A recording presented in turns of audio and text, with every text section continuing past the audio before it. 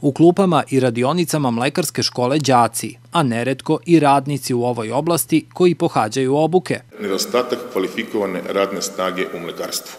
To je osnovni problem svih mlekara.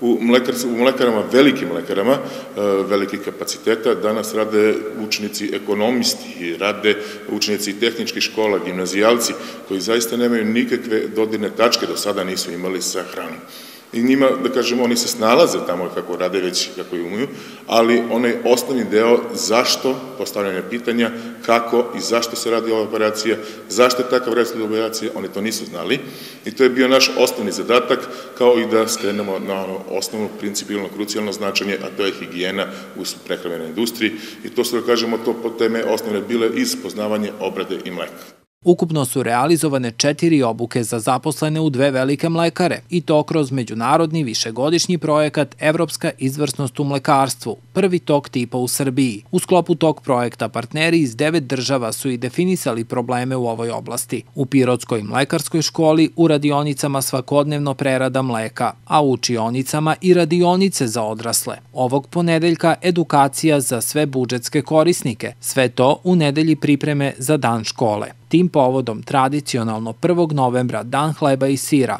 u holu Doma kulture. Petak, 1. novembar od 10 do 14 časova pozivam svog građanstvo, sve zainteresovane ljude, dobre volje, da dođu, obiđu i imaće sada vide. Napomenuo, bit će međunarodnog karaktera, imaćemo goste iz Prijedora i, iz Bugarske. Takmičarski deo, najlepša slavska pogača, bit će organizovana kod nas u školi takmičenje.